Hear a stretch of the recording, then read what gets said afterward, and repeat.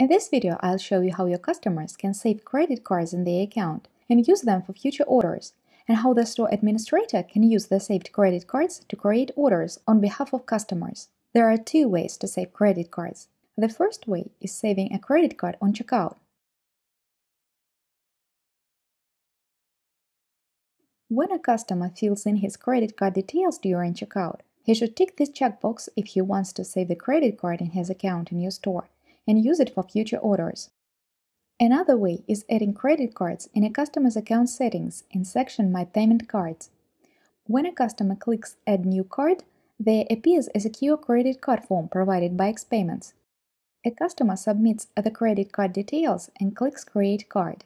In order to save a credit card in a PCI compliant manner, Xpayments authorizes the amount configured in Xpayments Connector settings page. It makes the authorization in background and then returns the result of this transaction back to Zoey. If the authorization transaction was successful, the customer sees a new card added.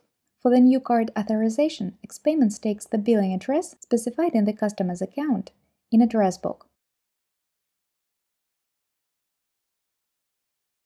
Next time a customer is going to make a purchase in your store, there will appear a Use Saved Payments Card method, and a customer will be able to choose any of the saved cards for the payment.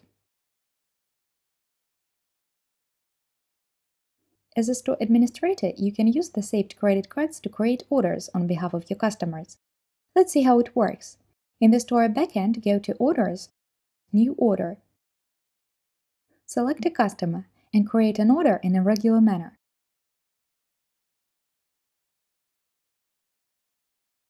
However, now among payment methods, you can see a Use Saved Payment Cards method if a customer has saved a credit card in his account.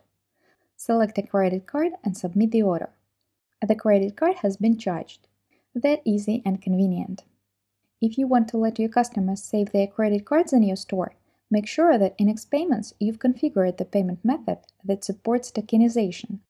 The list of such payment methods is available in Xpayments knowledge base. Follow the link under this video to check the list. Also, this feature should be enabled in Xpayments Connector settings page. Select Yes next to Enable Saved Cards option. Thanks for watching!